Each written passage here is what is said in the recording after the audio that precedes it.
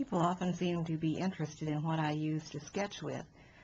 Like a lot of artists, I uh, have learned to use the the uh, water brushes. You can see that they have water right in their handle, which makes them rather handy for sketching. But as you can also see, they're fairly small, so um, they're not all that useful for doing anything larger than a sketch.